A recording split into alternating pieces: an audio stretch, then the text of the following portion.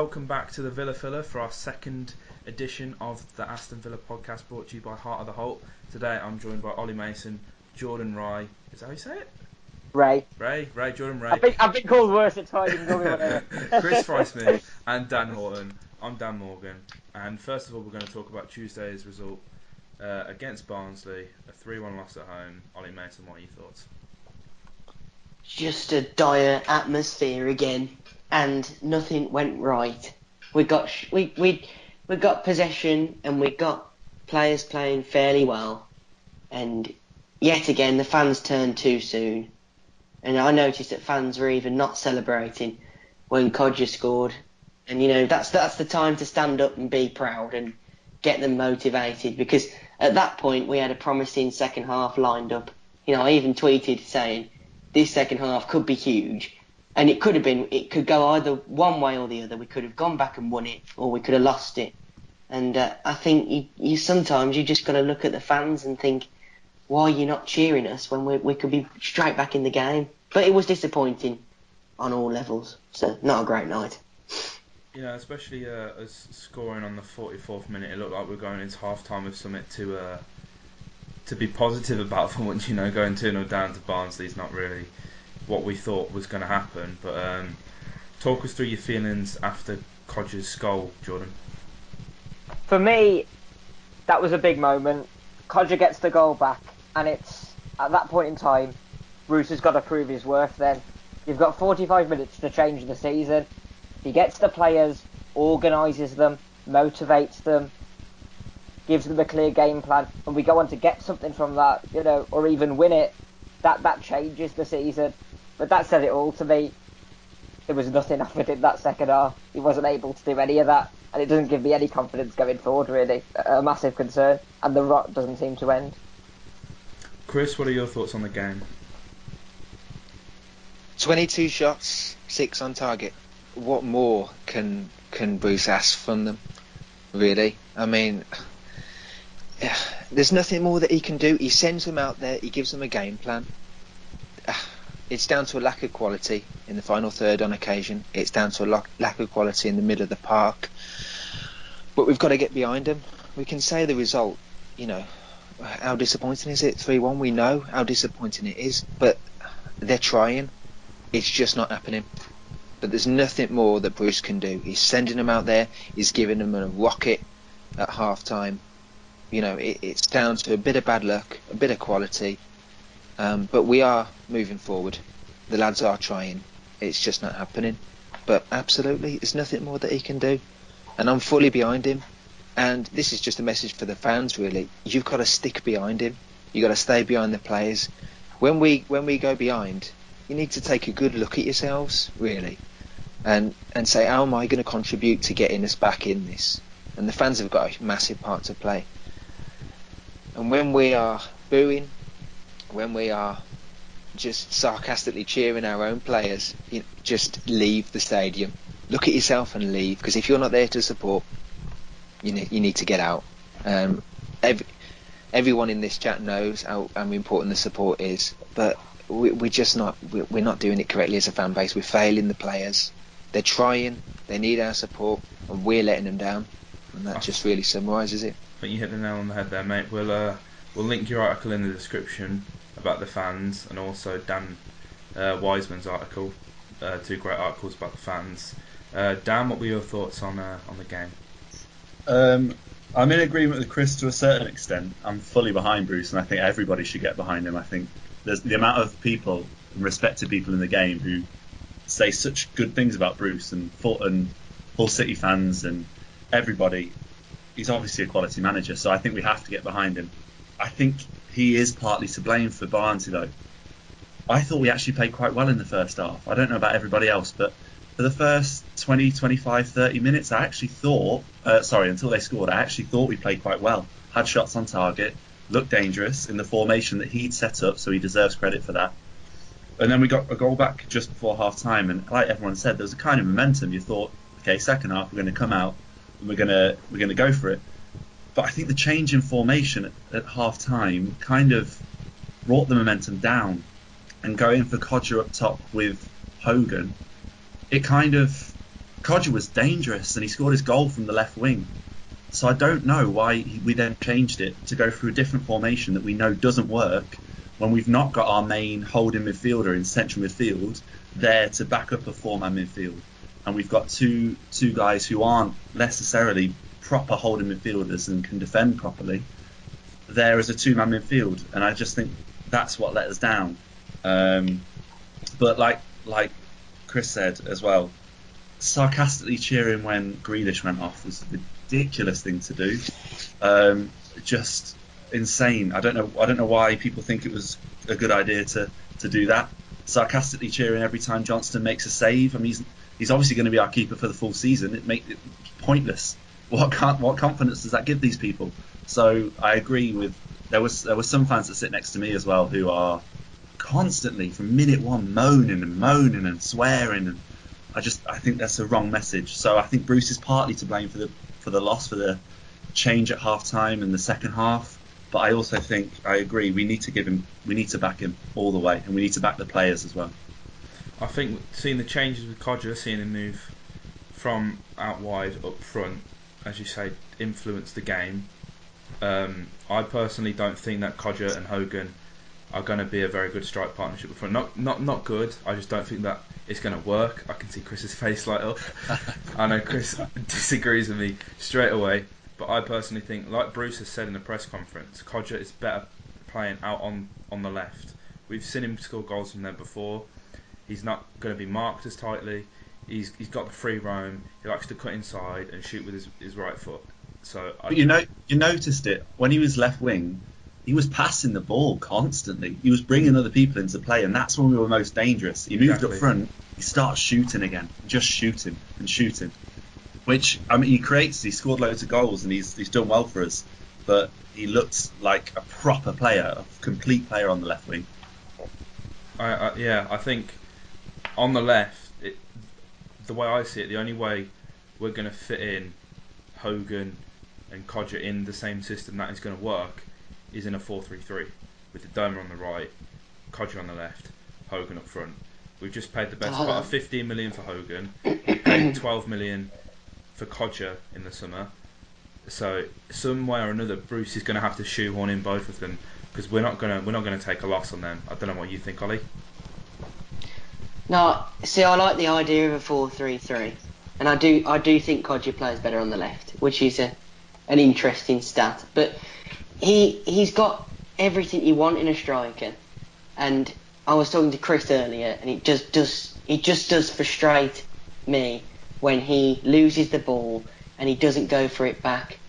When you've got players like um, Hogan, who seems to be running 24/7 when he plays, and he'll track down the ball and he'll get it back.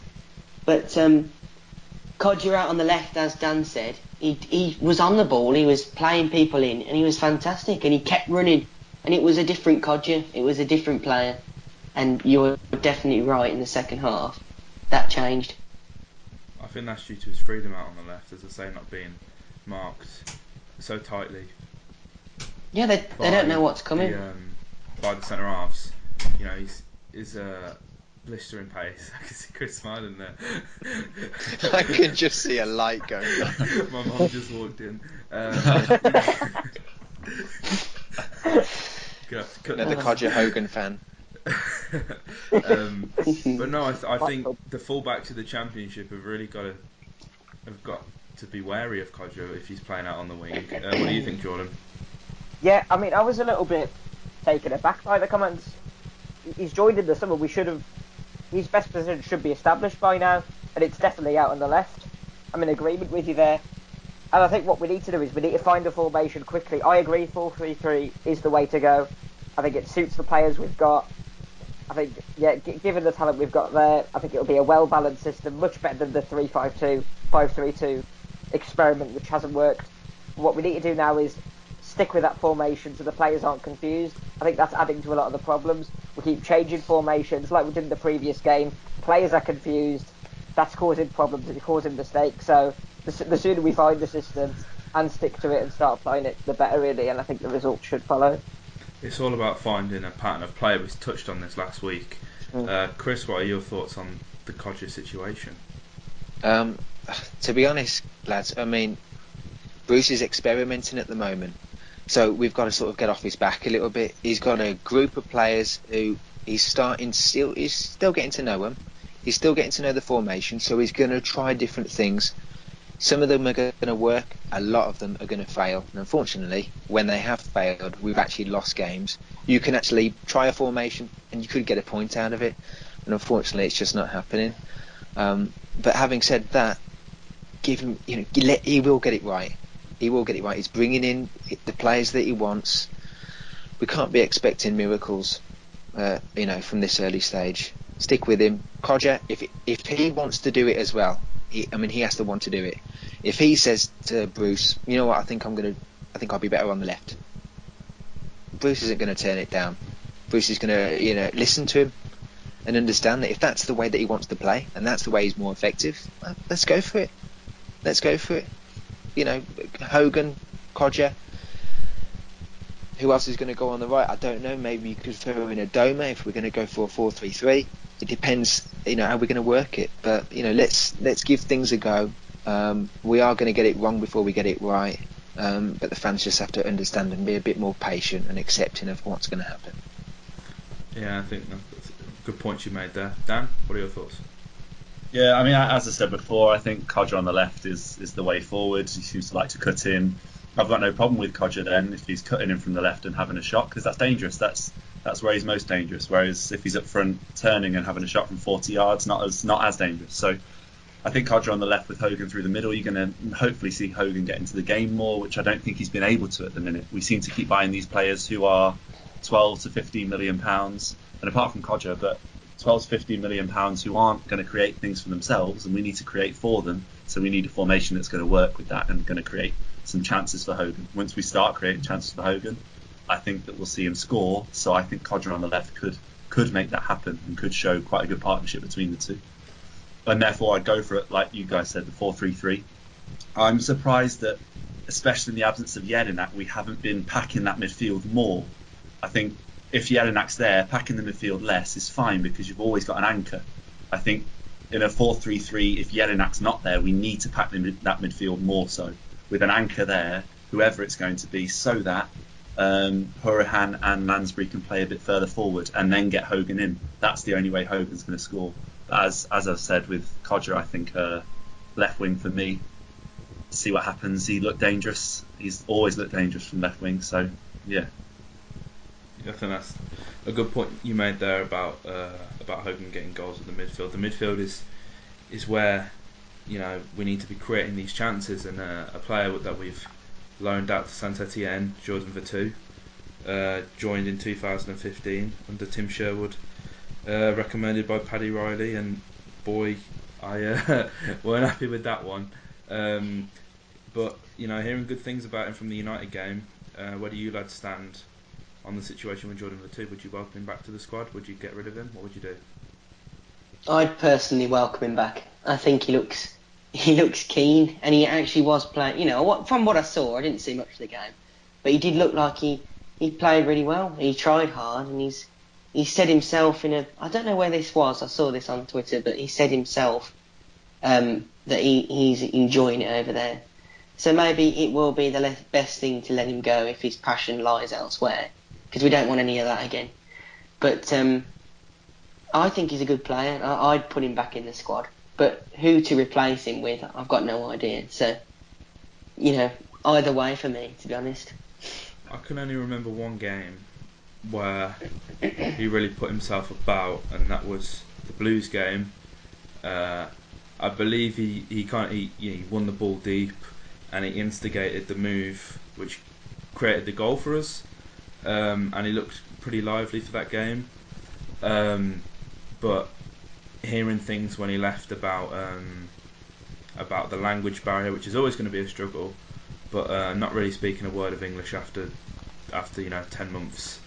For Mm. me, I I find that a bit disrespectful, especially when you you're here, you live, you're working in in the in the UK. You you I think I don't know about you lads, but you kind of expected to pick up the language. I know I appreciate it takes time.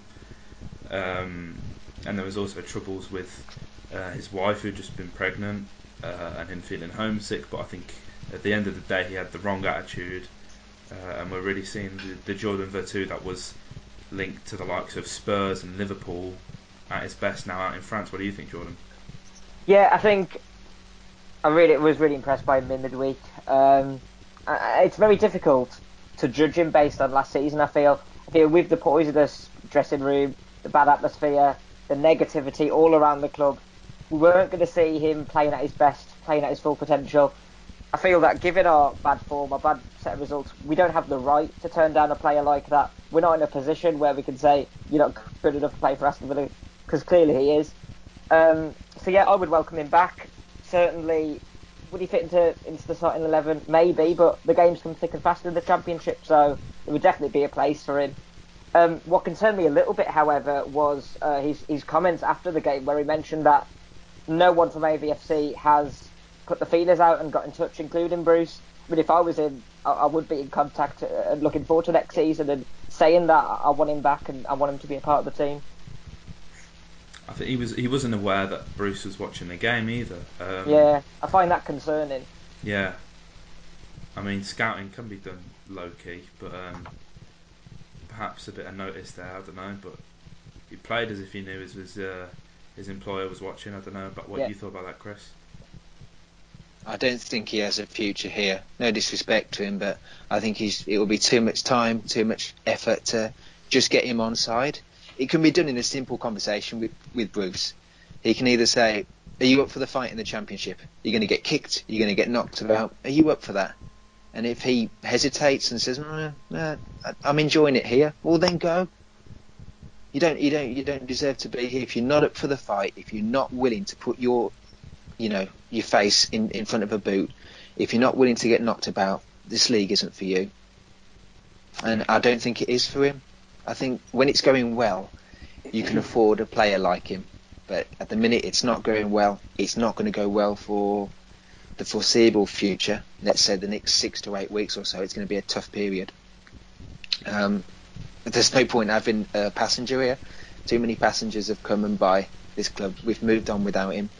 Um, if he's enjoying it over there, then uh, see you later. No problem. I think you hit the nail on the head there, Chris. Dan, what are your thoughts on the situation? Uh, I mean, I don't, I, I don't think we saw the best of him. He was in a same field, well, off, often on the bench, but in a similar midfield uh, with Idrissa Gueye, and we didn't see the best of Idrissa Gueye in, in a Villa shirt, and he went to Everton and was quality. So I don't think we ever saw the best of Jordan Veretout. I think he's probably quite a good player, but as Chris said, if you need to be really up for the fight, we don't want people now who are I don't know who who have offers from bigger clubs, but we we give them more money. I, I think uh, we need players who are really going to fight to get us out of this championship, and I I'm not sure whether he's that kind of player. I don't know whether he's better than Hourihane and Lansbury. I, we never really saw enough of him in a Villa shirt. So if he's willing to go for it, willing to fight, and convinces Bruce that he's up for the challenge, then absolutely bring him back in because we need players like that. If he's not, and he's he'd rather stay in France and he's rather not be at Villa, then as Chris said, let him go. It's not it's not a massive massive thing. Sorry, not Dan. really- If he was if if he was committed, he would have learned one word of English in his time here. If he was really committed to wanting to stay here and be a success here, he would have picked up the language. He would have taken constant lessons, and he would have attempted to communicate with our dressing room, with instead of you know letting all that time by and letting some interpreter you know speak on his behalf. He would have made the effort himself. Again, his attitude it just speaks for himself. It speaks for itself. It was poor. Let him go. I think, sorry, just, just to add on that, uh, you know, there are plenty of, uh, of players and managers who don't necessarily have a good command of the language, but you know, I, I'd still say are committed to their clubs. But I do think it's an important point. It, it is a case of having a sit-down conversation with him and seeing whether the fight there and the attitude's there. But it's also up to Aston Villa to, to, to get in touch and to put the feelers out and, and you know to organise that discussion because we don't want to lose a very good player there. So, so that's the danger. He might be a good, he might be a good player, but if he if he just if he doesn't want it, if he doesn't want it, forget him.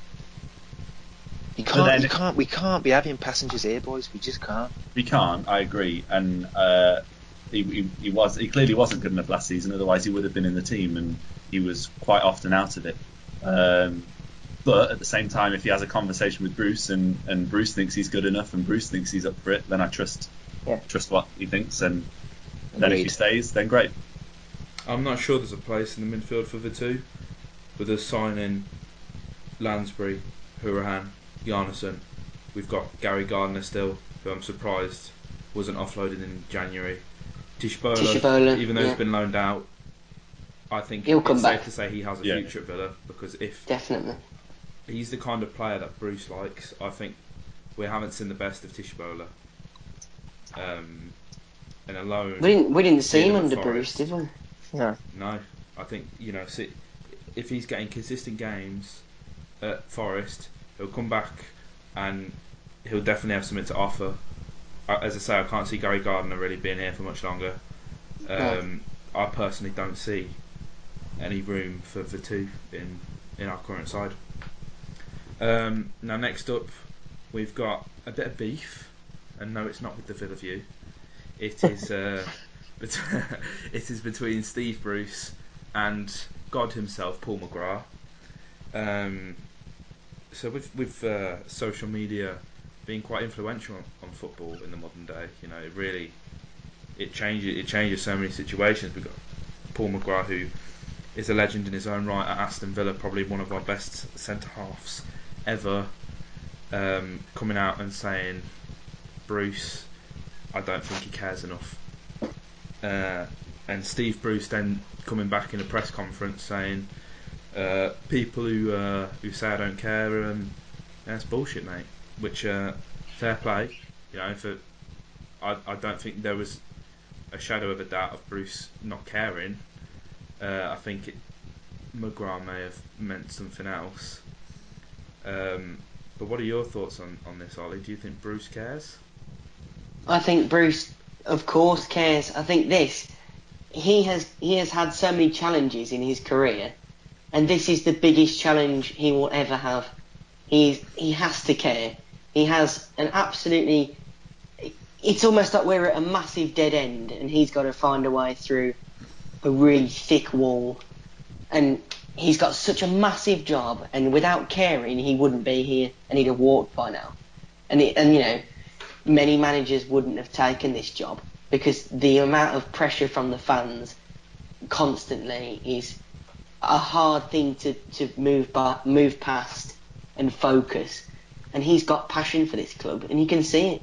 Even though he's been at Blues before and he's had a bit of a past, th- none of that's relevant. This this man's definitely the one for me to take us forward because he does care, and you can see that in every single interview he's done. Jordan? Yeah, I think of of course he cares. He, he has to he, he has to care. You know, he's got he's got a squad that's worth 80, 80 million pounds.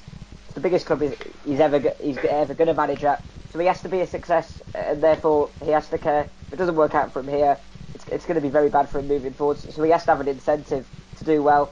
So I do think Paul McGrath is wrong in his comments there.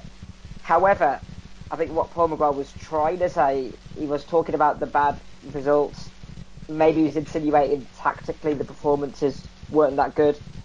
Now we saw Paul McGrath earlier in the season criticise Cod for his work rate. I don't know if you remember Mm. that tweet. I I completely also agree with that- Paul McGrath yeah. in that case. So Yeah, and but there was, I think there's a difference in terms of how Kodjia reacted to it and how Bruce reacted to the comments.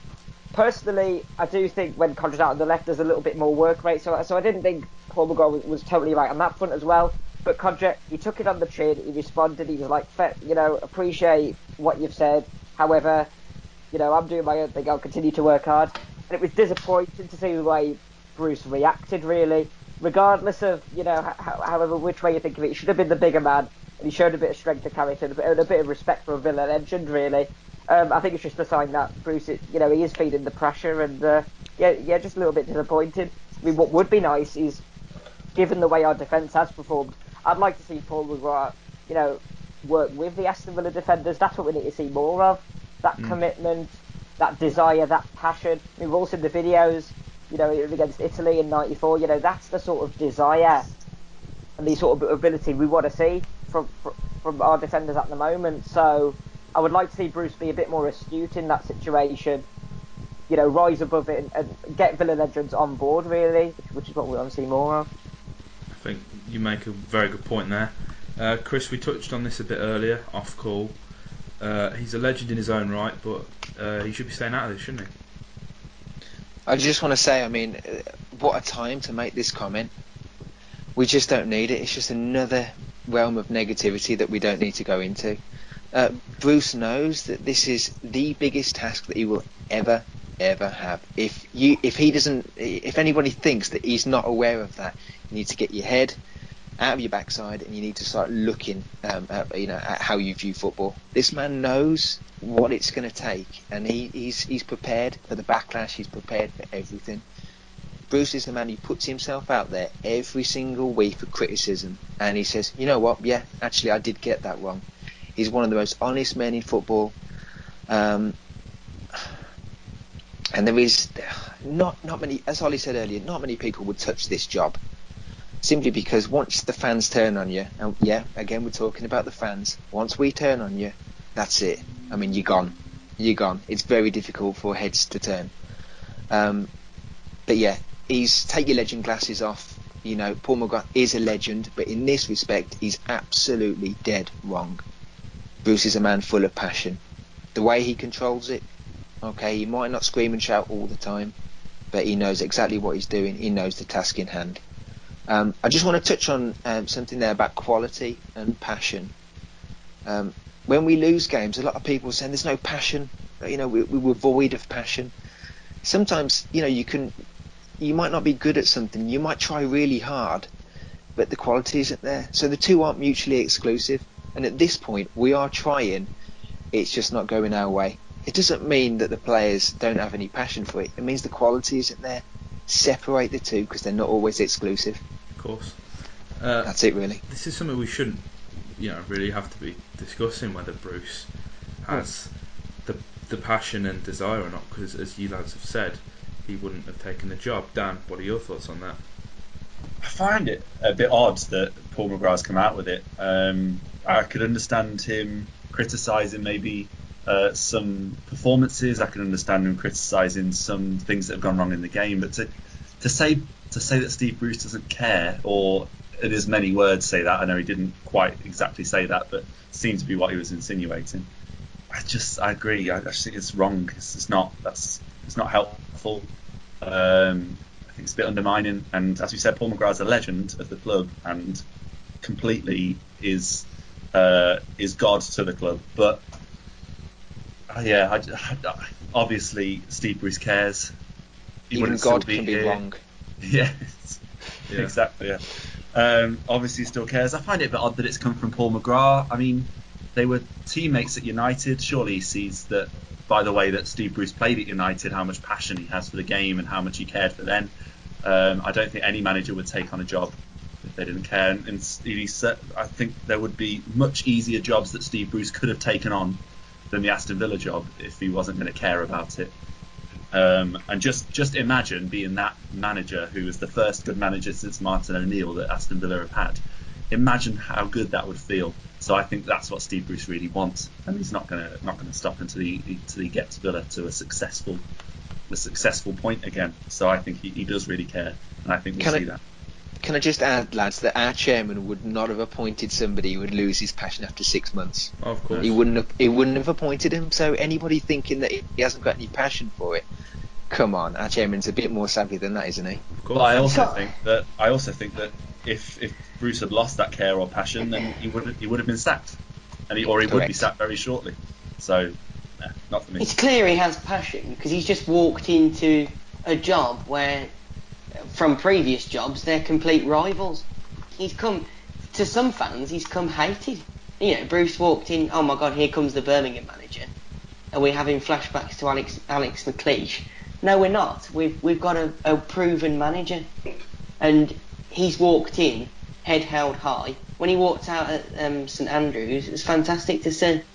Because his comments were brilliant, and he walked out and he he didn't look like he cared about being back there. He had one thing on his mind, and that was drawing or winning the game. And you can tell he has got a passion, and it, it, it's no doubt that he cares. It's a stupid comment to make. Uh, and finally, um, we've got Newcastle tomorrow.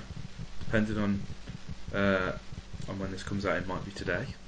You'll probably be listening today. So in that case, we have Newcastle this evening. Uh, games on Sky Sports. Sports. We'll be looking to break the TV curse. Mm. Um, it's a painful one for, for the fans, really, isn't it? Um, I can't see anything but a Newcastle win. Uh, Ollie, what are your thoughts? I I can see, and I'm always positive, so I can see us actually getting a result. Um, it's just this is a bit of a, a stepping stone for a turning point, and I think, as Chris was saying earlier, Bruce will, you know, he'll strum it into them and he'll say, "This is what you got to do," and you you've got to come away with a point or a win, and they will try they will try hard, and I think we will get something. Because I think Newcastle will just be a bit complacent. They'll be thinking they're on a terrible run. You know, we'll just play like we did last week. We'll be fine, and we'll catch them out. I think. Then one thing we've got going our way is injuries that Newcastle have will force Rafa to change, uh, and we know that he likes to change things about a lot. And earlier on in the season, when he's he's he, you know he's playing Jack Colback at left back. Um, we've seen teams just do Newcastle, but I mean, I w- I wouldn't exactly say they're in bad form, but they're certainly not at the best at the minute. But by that same token, we are not at our best.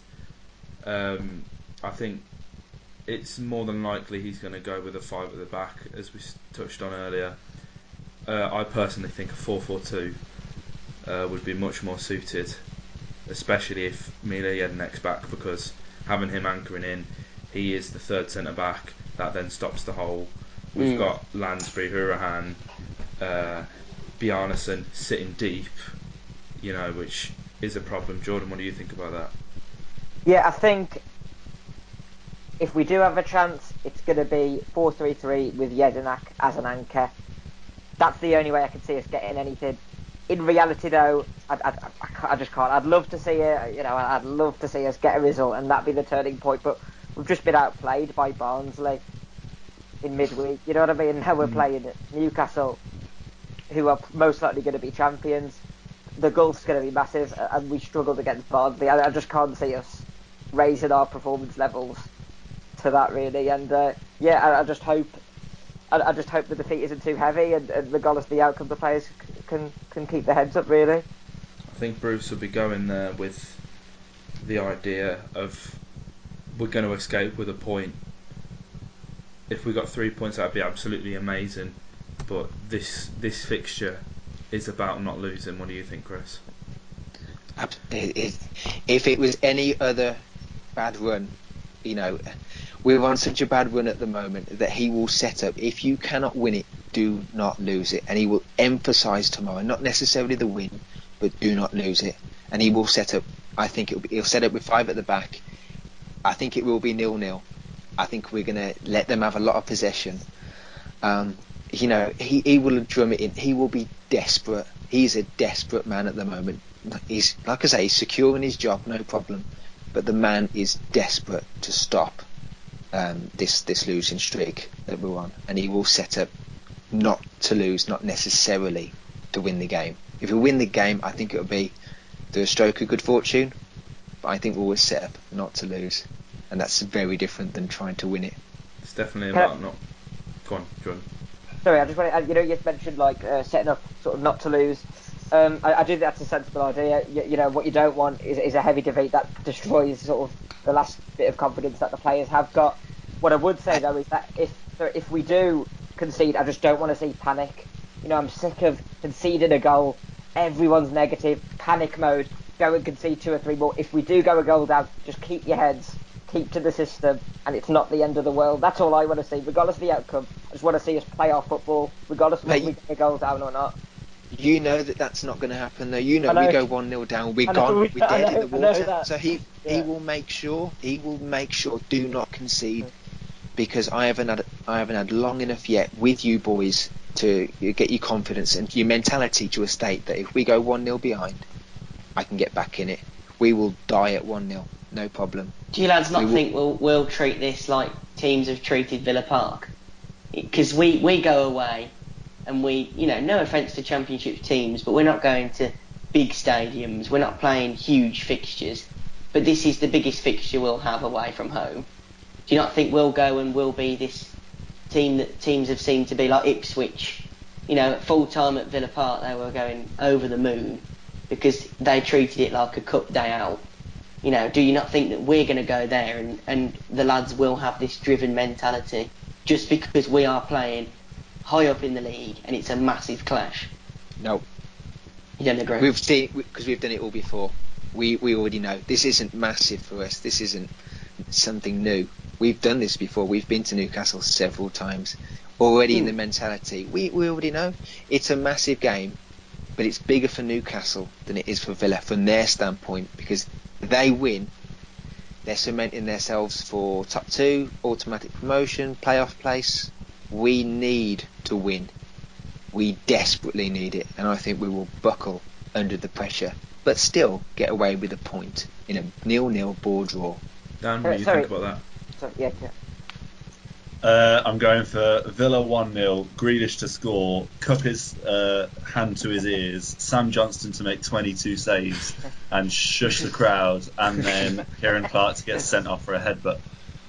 I think In a dream uh, that's the only way it's going to go, to be honest. No, um, I reckon, in all honesty, we have to now start playing 4 3 3 till the end of the season. Just go for it. We have to pack that midfield. We have to make us harder to beat. We have to make the midfield harder to just play one ball through and it's, we're just they're in. So we have to play whoever's there, whether Jedinak's there or not. We have to pack that midfield. Otherwise, I don't think we've got a chance. They will just overrun us if we don't pack that midfield. So I want to see a 4-3-3. I want to see um, whether it's Gardner, whether it's Jedinak, someone as an anchor, because Gardner played his best football at Nottingham Forest when he was playing behind Henry Lansbury. So what I want to see is an anchor, whether it's Gardner, whether it's Jedinak, with Lansbury and Hourihane further forward, 4-3-3, pack the midfield, make us hard to beat, as uh, as you guys have said, so that we don't go a goal down early, so that we don't lose our heads, so that we don't start to just play random football and away from the system, and just not even necessarily have a go, but be hard to beat, be frustrating for Newcastle, because then we can we can really do something in the game. Um, I think it'll be a draw. I'm I'm I'm, op- I'm optimistic, hoping for a draw or a win. Um, I suppose we'll see, won't we, tomorrow? I'm uh, nervous for the game, but I'm excited to watch it as well. So, hey, we'll see. Well, Tomorrow, tomorrow, sorry, Dan. No, go tomorrow is the game where where he lines up the players, every single member of his squad, and he says, right, who wants to stay and who wants to go. This is the this is the game. You know, if you want to compete with the big boys in the future, Newcastle, let's face it, they're one of the top teams in the Championship at the moment, and they will be a Premier League team by the end of this year. If you want to compete against this type of team, I need to see a performance from you. And if you're not going to do it, I'll show you the door, no problem. Yeah, I mean, We've at some it. point we have Yeah. to stop the rot. We have to. And why Yeah. can't This is it? a perfect, it be perfect Newcastle? opportunity. So yeah, and perfect. I, this. thi- I think to be honest, our best, some of our best results and performances have come against the better teams. We we played really well against Brighton, um, and yeah, that and was a great game. un- unlucky one all. We played well against Newcastle and, and drew one all. We we've played some good football against some of the better teams. So I think we, ha- as I said, we have to stop the rot at some point.